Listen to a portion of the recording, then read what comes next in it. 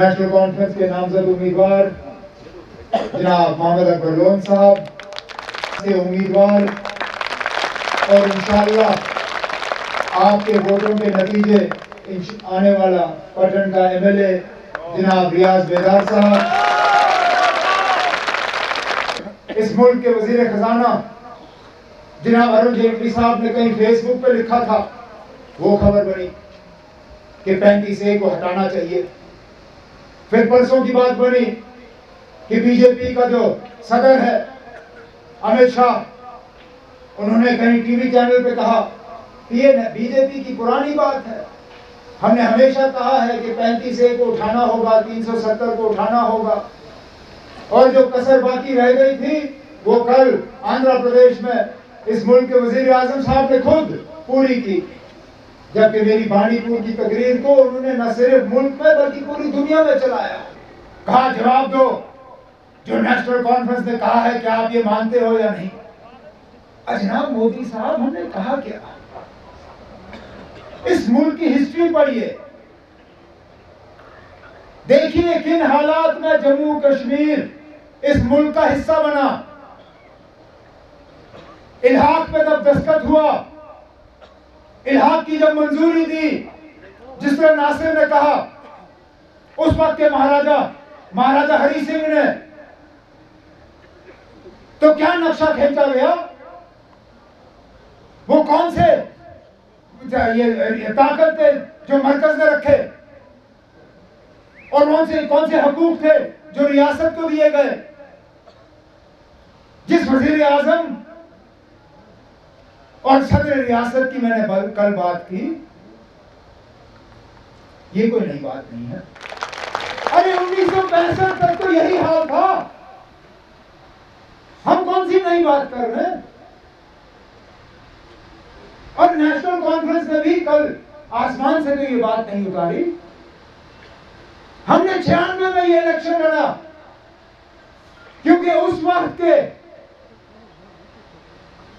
वज़ीर आज़म ने हमें यकीन दिलाया कि हमारी अंदरूनी खुद मुख्तारी को दोबारा बहाल करने के लिए बातचीत का सिलसिला शुरू होगा। जिस वज़ीर आज़म की तारीफ़ मोदी साहब खुद करते हैं, आंध्र प्रदेश का सबसे बड़ा लीडर माना जाता है। खबरदार जो आपने इलाहाक पे बात की। अरे जम्मू कश्मीर नेशनल कॉन्फ्रेंस वो पार्टी है हम कहते हैं ना हमने कुर्बानियाँ दी हैं इस रियासत के लिए। हमारी रियासत का झंडा और हमारी तंजीम का झंडा जो है लाल रंग से नहीं है। यहाँ के लो, लोगों के खून की कुर्बानी से हमने इस झंडे को रंग दिया है। नए नए लिबास पहन के ये लोग आते हैं। कभी हुकूमत में कभी हुकूमत के बाहर। कभी कहते हैं मोदी साहब मेरा बड़ा भाई है। कभी कहते हैं महबूबा मुफ्ती मेरी बहन है। हुकूमत रहने तक महबूबा मुफ्ती को बहन बनाते हैं। हुकूमत जाने के बाद तमाम बुराइयाँ उसी में नज़र आती हैं। रिश्ते खत्म हो जाते हैं। रिश्ते अचानक खत्म।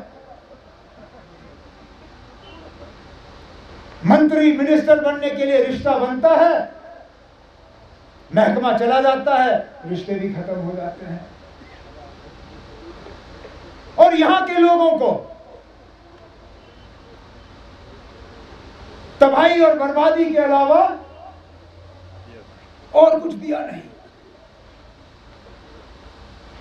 यहाँ कुछ लोग हैं जिनकी सियासत उसी बुनियाद पर चलती है कि बॉयकॉट होना चाहिए। जितने कम वोट पड़े, उतना ही उनको फ़ायदा। और बदकिस्मती की बात यह कि बॉयकॉट के बाद फिर वो हर किसी के पास पहुँचते भी नहीं है। मैं मानता अगर कम वोट पड़ने के बाद भी हर गाँव में थोड़ी बहुत तरक्की होती, हर गाँव के रहने वाले लोगों के साथ इंसाफ होता, हर सड़क पे तेल भिजता, हर स्कूल में टीचर पहुँचता, हर अस्पताल में दवाइयाँ मिलती, हर बेरोजगार नौजवान को रोज़गार का हक मिलता लेकिन नहीं होता है। आप लोगों से बॉयकॉट कराया जाता है, डराया जाता है, धमकाया जाता है, और फिर आपके बॉयकॉट का फ़ायदा कहीं और। यहाँ कितनी मिसालें दू मैं? उन इलाकों की जो तरसते हैं, जरा सा उनको डेवलपमेंट का काम चाहिए। वो पुल मैंने इस्तेमाल नहीं करना है। वो अकबर लोन साहब को इस्तेमाल नहीं करना वो नासिर को इस्तेमाल नहीं करना है। हाँ अगर बेदार साहब उस इलाके से घूम रहे होंगे, शायद उस पुल के ऊपर से जाएँगे। लेकिन वो पुल उस इलाके के बच्चों के लिए है।